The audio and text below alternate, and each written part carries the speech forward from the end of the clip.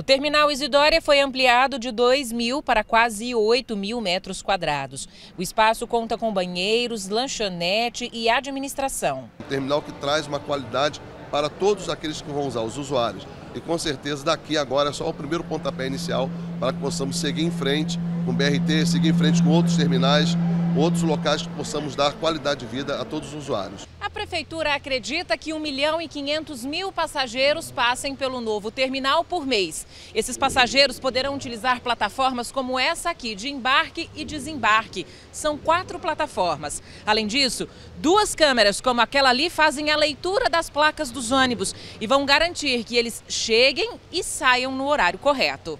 Uma plataforma para o BRT também já foi feita. A previsão é o primeiro semestre do ano que vem. Como nós já tínhamos dito antes, nós temos a questão de que obras foram paradas, foram paralisadas devido à Covid, insumos, falta de insumos, mas depois de todo acerto feito com as empresas, então agora já estamos, já, já reiniciamos na verdade, o BRT, uma do, um dos pontos foi o terminal, né, que faz parte do, do, do complexo BRT, o viaduto, já entregamos o viaduto da, da, da Perimetral Norte com a Goiás, então já, já temos alguns passos importantes.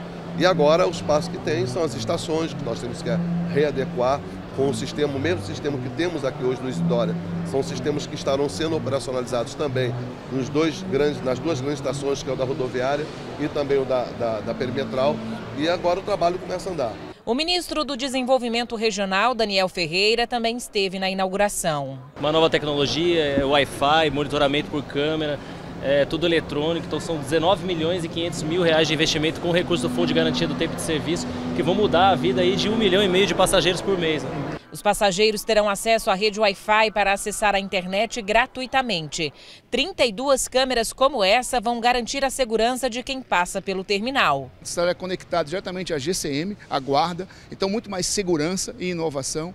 Nós temos aqui quatro plataformas que serão disponibilizadas nessa nova estrutura, com totens, né, com orientação, com pessoas explicando né, as linhas que vão estar operando. São 22 linhas que operam aqui nesse terminal.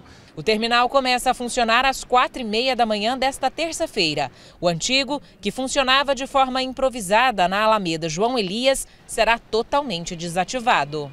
Será entregue à prefeitura novamente para que a prefeitura dê a ele o destino que ela definia a partir de agora.